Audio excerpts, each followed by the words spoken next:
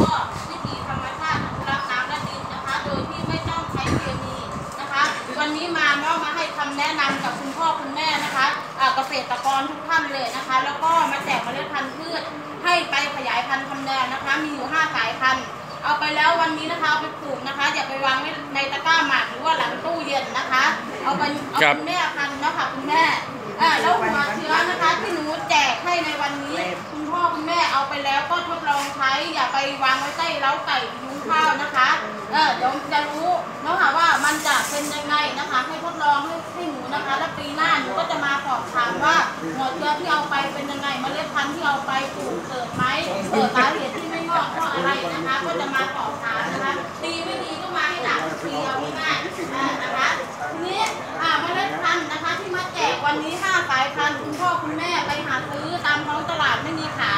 เอออันนี้ออกจากชมรมนะคะมเมล็ดพันธุ์พืชมาแจกให้เป็นแนวเนาะห้าสายพันธุ์นะคะ ก็จะมีมะละกอนะคะสายพันธุ์แรกเลยคุณแม่มะละกอนะคะ ตัวนี้เป็นพันธุ์แขกดำนะคะ ผสมกับพันธุ์นางงามลูกดกพันธุ์แขกดำเขาจะนิยมกินสุกกันนะคะ ส่วนมากไม่เอามาตำดิบนะคะ ไม่กินดิบ เพราะว่ามันไม่หนิเอ่อมันไม่กรอบคุณแม่มันเหนียว เออทีนี้ชมรมหนูนะคะอยู่ที่ปากช่องอยากให้กินทั้งสุกได้ทั้งดิบได้นะคะ ก็เลยไปเอาพันธุ์นางงามลูกดกมาผสมนะคะ ทีนี้นะคะผลสรุปแล้วทั้งสุกทั้งดิบนะคะกินสุกก็หวานกินตำดิบก็อร่อยนะคะกรอบนะคะตัวนี้ก็มาแจกให้เป็นแนวนะคะ บ้านเรานะคะอ่ามะละกอพันธุ์นี้นะคะ ต้นเตี้ยนะคุณแม่ไม่สูงนะคะ ประมาณหนึ่งนี่แหละอ่าต้นเตี้ยลูกดกนะคะ แต่หนูแตกต่างจากมะละกอคือลูกไม่ดกเหมือนมะละกอนะคะครับ อ่าอยู่ได้กี่ปีครับมะละกอต้นเอ่อมะละกอนะมีอายุกี่ปี อายุกี่ปีเหรอครัคะบก็ได้ประมาณสองปีได้ไหม ได้ค่ะสองปีนะครับแล้วก็เราสามารถเอาเป็นแนวต่อได้ครับ เออนะคะ ทีนี้บ้านเรานะคะใครเคยคัดเอ่อคัดเมล็ดพันธุ์มะละกอไหมคะส่วนมากไม่คัดคุณแม่หวานมั่วอ่าหวานมั่วไปเลยนะคะ แล้วแต่จริงงอกบางงอกนะคะโตเอ่อโตขึ้นมาตกละโลกก็มีเอ่าเพราะฉะนั้นให้คุณแม่นะคะ คัดก่อน คัดที่ว่านะคะ ถ้าคุณแม่คัดนี่จะได้แต่ตัวเมียเลยนะคะ เกิดมาปุ๊บจะได้กินหน่วยกินผลเลยนะคะคัดยังไงครับคัดยังไงเวลาคัดก็อนะคะให้คุณแม่นะคะขูดเอาเมล็ดพันธุ์มานะคะ แล้วก็ไปล้างน้ำนะคะเอ่อแช่ไว้หนึ่งคืนนะคะ แล้วก็ล้างน้ำเอามือขยี้ให้เยื่อใสๆขาวๆหลุดออก หลุดออกเสร็จปุ๊บให้นำไปผึ่งแดดนะคะ ประมาณสองแดดให้แห้ง แห้งเสร็จปุ๊บนะคะ ให้นำกลับมามาแช่น้ำนะคะ กึ่งจมกึ่งลอยซาวทิ้งเลยไม่ต้องเอา เป็นกระเทยกับตัวผู้อืมอ่าให้แม่เอาเมล็ดที่จมนะคะ เมล็ดที่จมนี่เป็นตัวเมียอ่าสามารถเอาไปปลูกได้เลยนะคะ อันที่ลอยไม่ได้นะ ต้องจมอ่าอ่ากึ่งจมกึ่งลอยเป็นกระเทย แต่ถ้าลอยขึ้นไปเลยเป็นตัวผู้ เมล็ดที่จมอยู่กับที่คือตัวเมีย เราปลูกอันที่จมนะครับใช่เอาอัน ที่จมนะคะ ครับ ไปเพาะใส่ถุงดำหรือหวานก็แล้วแต่นะคะ ถ้าต้นมะละกอนะคะ มันงอกขึ้นมาแล้วให้คุณแม่ถอนต้นมะละกอขึ้นมานะคะ แล้วเอากันไก่คมๆนะคะ ไปหนีบรากแก้วประมาณข้อนิ้วหนึ่งให้ขาดนะคะหนีบทิ้งไปเลยพูดง่ายๆแล้วเอาปูนขาวปูนแดงนะคะ ที่เคี้ยวหมากไปแต้มที่โคนราก แล้วก็ย้ายลงแปลงดินนะคะ อืม แล้วก็นะคะให้คุณพ่อคุณแม่เอาสารที่หนูแจกในวันนี้ฉีดพ่นไปดูแลไป7วัน14 วันนะคะครบกำหนดเลยฉีดไปเรื่อย ๆนะคะ ไม่ต้องกักตุนยาไว้ แต่ทำตามที่หนูบอกนะคะ สมมุติว่าคุณแม่ปลูกมะละกออยู่ที่บ้านเนาะตอนนี้นะคะมะละกอนะคะ ยังไม่ตกละโลกยังไม่ใบเหลืองก้านเหลืองรากรอยสมมุติ หรือว่าเหลืองใบเดียวก็แล้วแต่ให้คุณแม่นะคะนำที่เท่า นะคะที่คุณแม่ขูดออกมาจากเตาเนี่ยค่ะ ไปโป๊ะที่โคนต้นห่างจากโคนต้นประมาณข้อศอกหนึ่งเอออ้อมโคนนะคุณแม่แล้วก็ห่างเป็นเวิงใหญ่เนาะเออนะคะ เอาไปโป๊ะที่โคนต้นเลยสรรพคุณของที่เท่านะคะ มันจะดูดเชื้อราออกจากในดินมะละกอคุณแม่จะไม่ตกละโรคใบเหลืองก้ามเหลืองรากลอย หรือว่าเป็นเพี้ยแป้งสีขาวที่เกาะกับหน่วยมันนะคะคุณแม่เออไปทำดูนะคะ แล้วทีนี้นะคะ มะละกอที่หนูบอกในวันนี้นะคะ ให้เอาไปแช่น้ำยาตัวที่หนูแจกดูแลดินนะคะ ทุกสายพันธุ์เลยนะคะ วันนี้เอาน้ำยาตัวนี้นะคะหนึ่งปลากระป๋องน้ำ20ลิตร ไปฉีดใส่หน้าดินทิ้งไว้นะคะ 7 วันครบ 7 วันแล้วให้นำเมล็ดพันธุ์นะคะมะละกอแช่น้ำยาตัวนี้หนึ่งคืน อีกสามสายพันธุ์ให้แช่ 5 นาทีนะคะ แต่ผักชีอย่างเดียวที่ไม่ต้องแช่ให้ทุบระหว่างเลยผักชีจีนนะคะคุณแม่อ่า สายพันธุ์ที่สองนะคะก็จะเป็นถั่วฝักยาวนะคะ ตัวนี้พันไร้ค้างนะคะตอนนี้เบอร์รี่นำเข้าจากประเทศเวียดนามนะคะ พันยองยองคุณแม่ปลูกแล้วไม่ต้องทำค้างจ้ะคุณแม่ปลูกเสร็จปุ๊บเดินหนีได้เลยนะคะ แต่ก่อนจะเดินหนีก็รดน้ำก่อนนะคะ แล้วค่อยไปนะคะเออตัวนี้ฝักยาวนะคะคุณแม่ฝักยาวฝักใหญ่นะคะ ฝักหนึ่งอาจจะตำได้เต็มโคกนะคะ แต่แม่ต้องเอาโคกเล็กๆมาตำนะเดี๋ยวโคกใหญ่มาตำ จ้าตัวนี้ก็มาแจกให้เนาะอ่าเกิดทุกเม็ดคุณแม่ไม่เกิดแค่ไก่จิกกิน อ่าหนูบอกเลยถ้าดูแลดินอย่างที่หนูบอกอ่าคุณแม่เอาแนวต่อได้นะคะส่วนตัวนี้พริกแต่แม่นี่พริก อันนี้เป็นพริกทรงพุ่มนะคะพันจินดาแดงตัวนี้อ่าที่เห็นเป็นช่อๆอย่างนี้นะคะ หนูไม่ได้เอาหนังยางรัดไว้แล้วถ่ายมาให้ดูนะคะ มันเป็นอย่างนี้เลยนะคะ คุณแม่สามารถโรยใส่กระถางหน้าบ้าน หรือว่าสวนหลังบ้านได้นะคะ ตัวนี้เป็นช่อๆนะคะ ตัวนี้เหมือนมะเขือพวงอะคุณแม่โรยใส่กระถางหน้าบ้านแต่หนูรับประกันเลยว่ามาซื้อพริกตลาดกินเหมือนเดิมนะคะ เพราะว่ามันสวยคุณแม่ไม่อยากเด็ด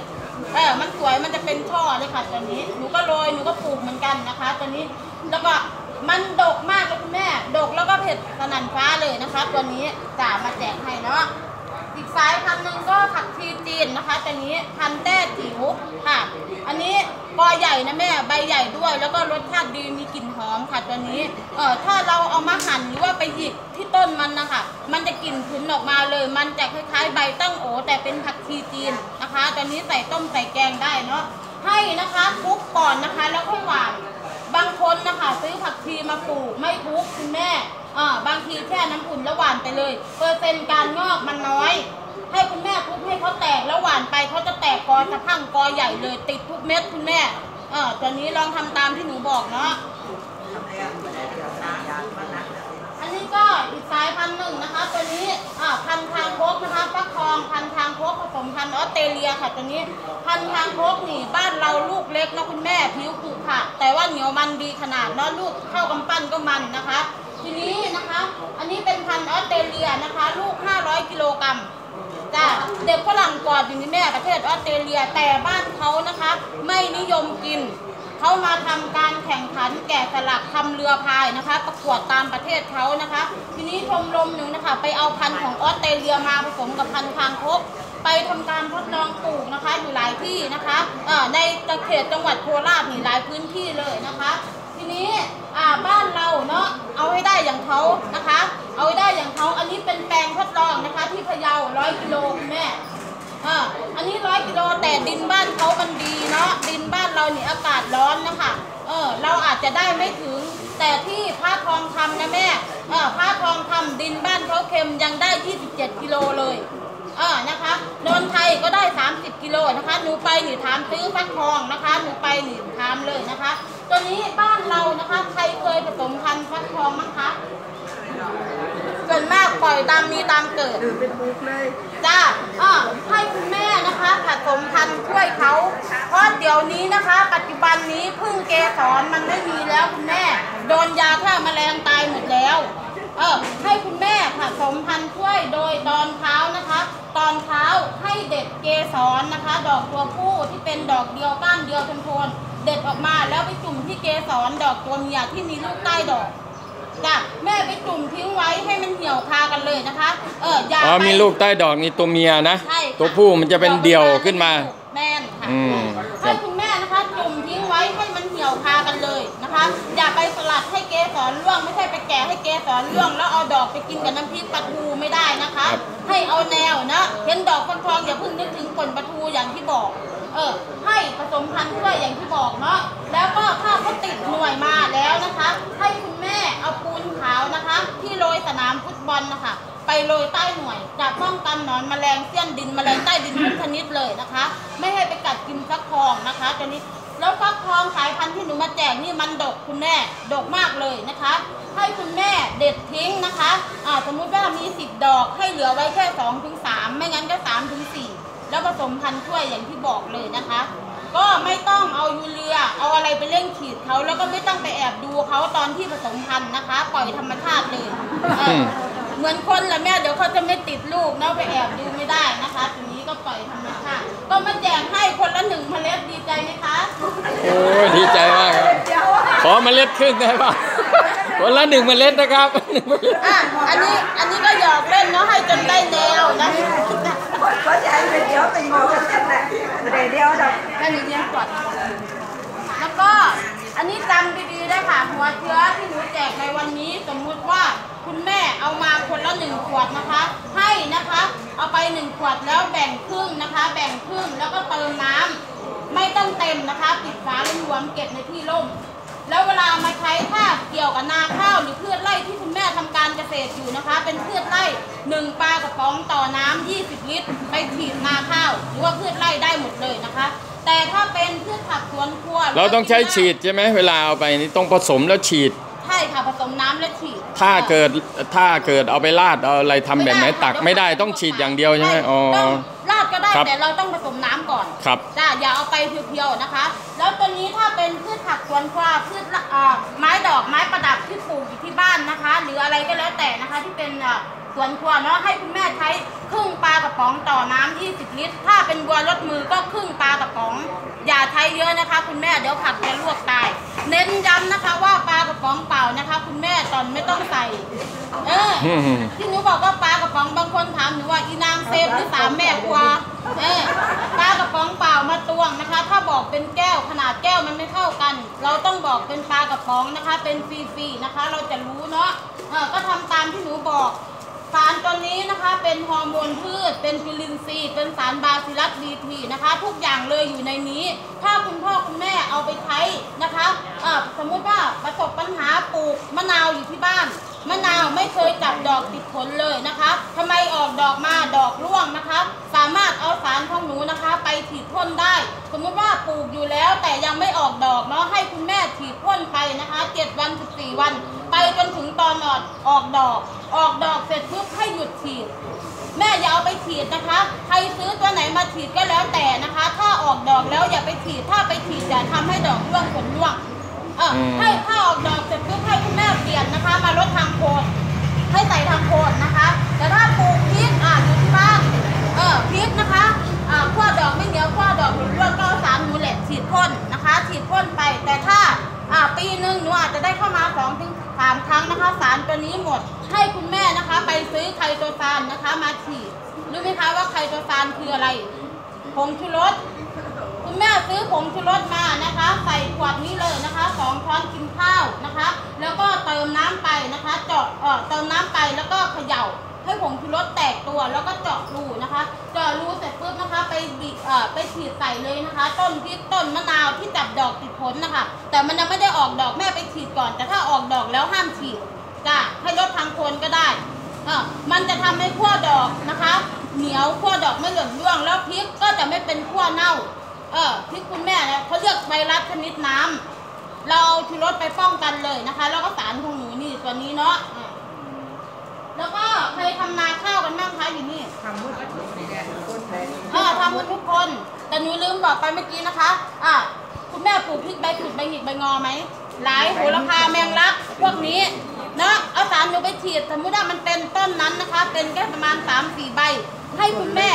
อ่าสมมติว่าให้คุณแม่ลองเด็ดเด็ดใบหงิกงอทิ้งนะคะ แล้วสารของหนูครึ่งปลาครึ่งปลากระป๋องต่อน้ำ20ลิตรแม่ไปฉีดใส่ ใบที่เกิดมาใหม่มันจะโป่งขึ้นมานะคะ แล้วต้นพริกคุณแม่จะหายจากใบหงิกงอทันทีนะคะ มันมาจากมดแดงไฟคุณแม่ มดแดงไฟจ้ะมันไปกัดราก กัดรากเสร็จปุ๊บเยี่ยวใส่ เยี่ยวใส่รากดูดซึมอาหารไม่ได้ รากก็เน่านะคะ ทีนี้ก็ขึ้นลำต้นไปกัดใบ กัดใบเยี่ยวใส่ใบหงิกงอ ใบสังเคราะห์แสงไม่ได้ ต้นพริกต้นนั้นก็ตาย ต้นมะนาวต้นนั้นก็ตายนะคะ ทีนี้ให้คุณแม่นะคะ เอานะคะ น้ำต้มสายชูนะคะ น้ำต้มสายชูของแท้อสรหนึ่งแก้วใสต่อน้ำ20 ลิตร ไปฉีดนะคะ ป้องกันมดแดงไฟขึ้นลำต้น ลองทำดูนะคะ เออตัวนี้ได้ผลคุณแม่พวกหนูทดลองหมดแล้วหนูถึงมาให้คำแนะนำเนาะเราดาไปขึ้นในกูเออคุณพ่อคุณแม่ทำนาข้าวกันทุกคนแล้วค่ะอืมกระดาษหญ้าเยอะไหมคะคุณแม่อืมขึ้นหญ้าเป็นเยอะชื่ออะไรแล้วก็ขึ้นในบ้านจะบอกว่าถ้า หญ้าเยอะนะคะ คุณพ่อคุชื่ณออะไรแม่นะคะ สามารถเอาสารของหนูไปช่วยย่อยสลายเมล็ดหญ้านะคะให้กลายเป็นปุ๋ยในดินได้ แต่ไม่ได้กำจัดนะคะ เออไม่ใช่ว่าไปฉีดปุ๊บให้หญ้ายุบตายไม่ใช่นะคะ มันจะไปย่อยสลายเมล็ดหญ้าที่อยู่ในดินหญ้าของคุณแม่จะไม่งอก แต่ถ้ายังใช้ขี้วัวขี้ควายนะคะหญ้าเพิ่มขึ้นทุกปีทุกปีวันนี้หนูมาให้คำแนะนำเนาะอย่างที่บอกเลยเนาะแล้วสารของหนูนะคะ สามารถใช้ได้ทุกสภาพดิน ดินบ้านแม่จะเป็นดินอะไรก็แล้วแต่ ดินเหนียวดินร่วนดินทราย ดินเหยียดดินเค็มดินติดสารเคมีที่ใช้ปุ๋ยเคมีกันเยอะๆแล้วดินด้านนะคะสามารถใช้ได้หมดเลยนะคะ คุณแม่เอาไปฉีดใส่หน้าดินนะคะ แล้วทำการไถกบได้เลยนะคะ ตัวนี้อ่าแล้วหญ้าเยอะอ่าวใครใช้ยาฆ่าหญ้ามั้งคะใช่แต่ใช่ไข้มด ยาฆ่าหญ้าคุณพ่อคุณแม่รู้ไหมคะว่าอันตรายมากนะคะ เบาหวานความดันหัวใจมะเร็งนะคะ มาจากเอ่อ สารเคมีที่เราใช้กันนะคะ แล้วนะคะอีก 5 ปีนะคะ ประเทศสหรัฐนะคะ หมดสัญญากับประเทศไทยนะคะ จะดึงยาฆ่าหญ้ากับประเทศเขาแล้ว จะไม่มีจำหน่ายแล้ว ถ้าคุณพ่อคุณแม่ยังใช้ขี้วัวขี้ควายนะคะ อยู่นะคะหญ้าก็จะเพิ่มทุกปี ทุกปีหญ้าจะงามกว่าต้นข้าวหนูบอกเลยนะคะ ทีนี้ถ้าเขาดึงยาฆ่าหญ้ากับหนูถามหน่อยจะเอาอะไรไปกำจัดหญ้าถ้ายังใช้ขี้วัวขี้ควายกันอยู่ ไม่มีนะคะ ทีนี้คุณแม่จะใช้โดยการเผาไหมเออไปเผานะคะ เผาหน้าเผาทุ่งนาเราเนี่ยอ่าจุลินทรีย์ตายแล้วทีนี้ทำไมข้าวถึงตายแล้งเพราะว่าจุลินทรีย์ในดินไม่มีแล้วเออเพราะฉะนั้นนะคะหนูจะบอกนะคะสี่เอ่อมีห้าส่วนผสมนะคะ ที่เป็นวิธีธรรมชาติ โดยที่ไม่ต้องไปพึ่งยาฆ่าหญ้านะคะ มานะคะใครอยากจะทดลองนะคะ อยากจะจดจำเอาไปใช้ก็ได้นะคะห้าส่วนผสมนะคะก็มี เกลือแกงพริกแกงนะคะ อย่างละสองทัพพีนะคะเหล้าขาวหนึ่งกั๊กเออต้องให้คนที่ไม่กินเหล้าผสมนะคะเออเหล้าขาวกั๊กหนึ่งนะคะถูกครับเออเออต้องให้คนที่ไม่กินเหล้าผสม ถ้าบอกว่ากั๊กหนึ่งล่ำขวดใหญ่แถมไม่ได้ลงในส่วนผสมลงท้องนะคะเออให้นะคะเหล้าขาวกั๊กหนึ่งแล้วก็น้ำ ปู่นะคะ ของแท้หรือจะเป็นหัวน้ำต้มน้ำต้มนะคะหนึ่งแก้วใสนะคะเออแล้วก็ใครมีจุลินทรีย์นะคะ หรือว่าเป็นปุ๋ยหมักคล้ายๆ แบบของหนูเนี่ยเอาไปใส่อีกหนึ่งแก้วใสเป็นอัตราส่วนที่ห้านะคะนะคะ คุณพ่อคุณแม่ผสมห้าส่วนนี้เข้ากันนะคะ เติมน้ำ12ลิตร แล้วก็หมักทิ้งไว้นะคะสองคืนนะคะครบสองคืนเสร็จปุ๊บให้กรองเอาน้ำที่คุณพ่อคุณแม่หมักนะคะ ไปใส่เต้เติมน้ำ20 ลิตรนะคะ ไปฉีดพ่นนะคะ หน้าดินตอสังฟางข้าวตอสังหญ้านะคะ ตอนแดดแก่ๆจัดๆหลังจากที่เก็บเกี่ยวเรียบร้อยแล้วจำได้ไหมคะ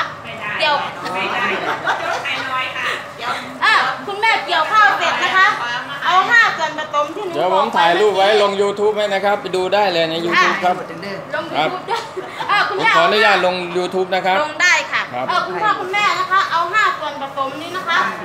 ไปฉีดใส่นะคะหน้าดินนะคะฉีดใส่หน้าดินนะคะใครมีเกลือนะคะ เกลือดิบนะคะ 25 กิโลนะคะ ต่อหนึ่งไร่ เอาไปใส่หน้าดินเลยค่ะ แล้วทำการไถกบ เชื้อที่หนูบอกไปเมื่อกี้นะคะ เชื้อของเกลือนะคะ จะไปตัดวงจรการงอกของเมล็ดหญ้า แล้วก็สารจุลินทรีย์จะไปย่อยสลายเมล็ดหญ้าให้กลายเป็นปุ๋ยในดินได้ โดยที่คุณพ่อคุณแม่ไม่ต้องไปซื้อยาฆ่าหญ้ามาฉีดยาฆ่าหญ้ากระปุกละสองหมื่นนะคะค่าหญ้าก็ไม่ตายหนูบอกคุณแม่เลยแม่ไปฉีดเนี่ยยุบตายเฉยแต่เมล็ดหญ้าอยู่ในนาทุกเม็ดคือต้นเหตุ แต่ปลายเหตุคือหญ้าอ่าสูงแล้วนะคะหญ้างอกหญ้าหญ้างอกมาแล้วคุณแม่ เออเพราะฉะนั้นนะคะเอาส่วนผสมที่หนูบอกเมื่อกี้นะคะ ไปย่อยสลายเลยสี่ปีนะคะทำแค่สองครั้ง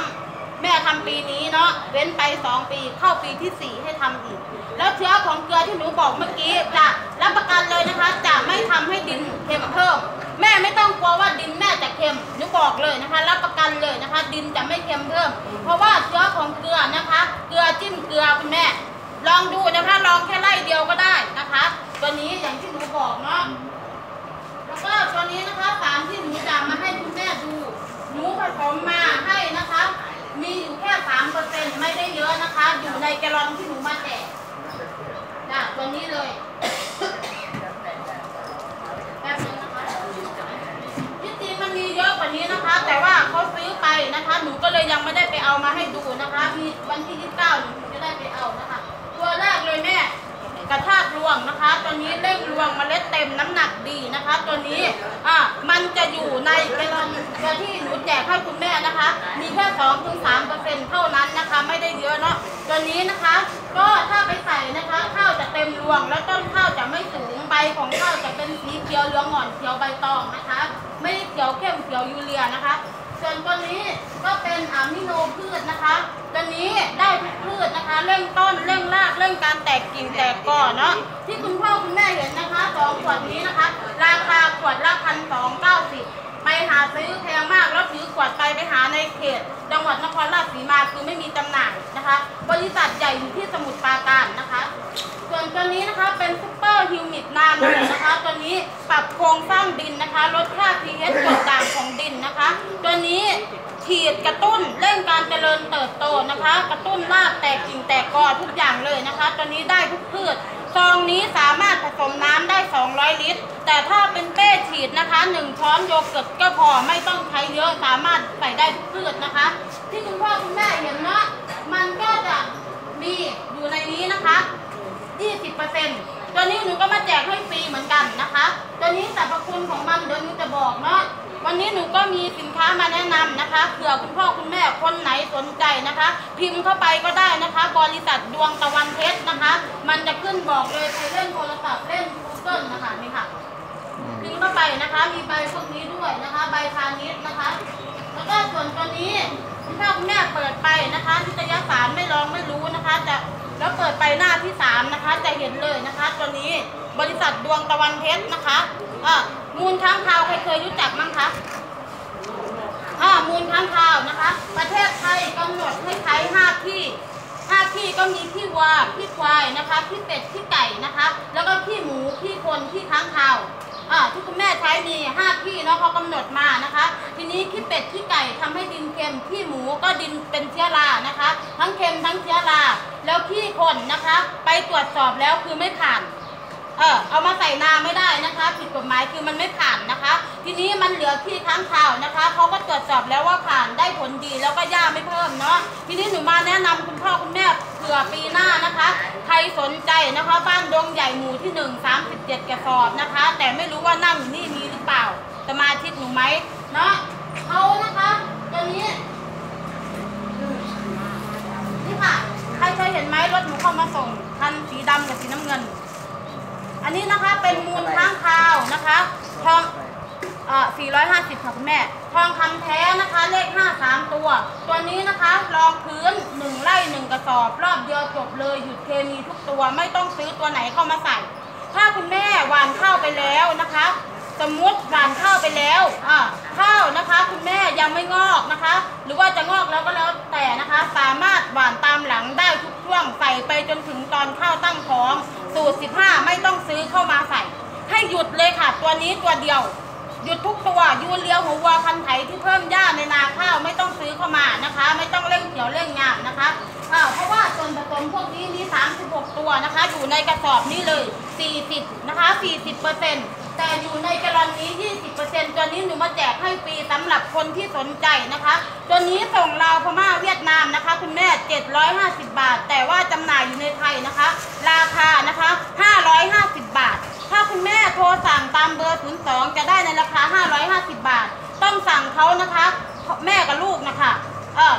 อ่าแม่ 320 ลูก 320 เป็น 640 กระสอบเขาถึงจะมาส่ง ทีนี้ถ้าอยากได้ 5 กระสอบ 10 กระสอบสั่งที่หนูได้ในราคา 450 บาท เพราะหนูเป็นตัวแทนแนะนำเนาะคุณพ่อคุณแม่สนใจนะคะตัวนี้หวานพร้อมข้าวได้ หวานพร้อมข้าวนะคะ แต่หนูจะบอกเลยสมมติคุณแม่ยังไม่หวานข้าวนะคะ ให้เอาจุลินทรีย์ตัวนี้สี่ฝาน้ำ20 ลิตรฉีดหน้าดินก่อนนะคะ ฉีดหน้าดินนะคะ แล้วก็ปุ๋ยมานะคะ เอาตัวนี้หวานพร้อมข้าว หวานเสร็จปุ๊บให้หยุดเลยทุกตัว ทีนี้นาคุณแม่มีน้ำผลดีนะคะ เอาตัวนี้นะคะสีฟ้าคลุกเข้ากันผสมกระลำอ่อนปั้นโยน ไม่ต้องไปจ้างเขาฉีดเออหรือว่าขยันหน่อยนะคะ อยากเดินสีฟ้าสีแกมุมนาเลยแม่เปิดตัวนี้นะคะเออเทสีแกมุมนาแล้วหยุดเคมีทุกตัวไม่ต้องซื้อตัวไหนเข้ามา หยุดเลยรอไปจนหอดเกี่ยวเข่าเลยค่ะเออยกทุกตัวอย่างที่หนูบอก ตัวนี้นะคะหนูจะบอกเลยใช้ได้ทุกสภาพดิน ดินบ้านแม่เมื่อก่อนเคยใช้ปุ๋ยตามสูตรสภาพดินบ้านตัวเองเนาะสูตรดินทรายก็สูตรนี้ใช่ไหมคะดินเหนียวก็อีกสูตรหนึ่งสิบหกยี่สิบศูนย์เนาะตัวนี้ใช้ได้ทุกดิน แล้วนะคะหนูรับประกันเลยว่าดินเหยียดดินเค็ม ดินคุณแม่จะร่วนซุย ดินเหยียดดินเค็มนี่หาย แล้วดินจะร่วนซุย เพราะว่าชื่อเขาบอกเลยว่าใส่สารปรับสภาพดินให้ แล้วหญ้าเก่าจะไม่งอกหญ้าใหม่จะไม่เพิ่ม เพราะว่าตัวนี้เป็นมูลค้างคาวนะคะ ตัวนี้ต้นข้าวคุณแม่หนูบอกเลยว่าจะไม่สูง แต่เมล็ดข้าวจะเต็มรวงแล้วใบข้าวนะคะ จะเป็นสีเขียวเหลืองอ่อนเขียวใบตองอ่ามีใครสนใจไหมคะคุณแม่อ่าเปิดการสั่งจองไว้ปีหน้า หรือว่าอยากได้ปุ๋ยพรุ่งนี้มะลืนนะคะห้ากระสอบในวันนี้แถมตัวนี้ให้หนึ่งแกลอนตัวนี้ไปใช้คู่กันแค่นี้พอไม่ต้องซื้อตัวไหนมาลงทุนแค่ไร่ละ450พอบ่ต้องซื้อตัวใดให้ยุดเบิดเลยค่ะอ่า มีใครสนใจไหมคะ